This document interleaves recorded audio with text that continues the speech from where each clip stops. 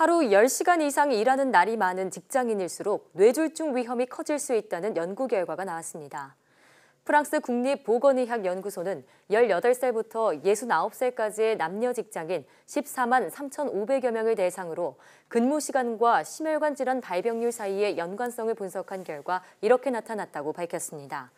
조사 내용을 보면 하루 10시간 이상 근무하는 날이 1년에 50일 이상이면 뇌졸중 위험은 29% 상승했고 이런 상황이 10년 이상 계속되면 뇌졸중 위험이 45%까지 높아졌습니다.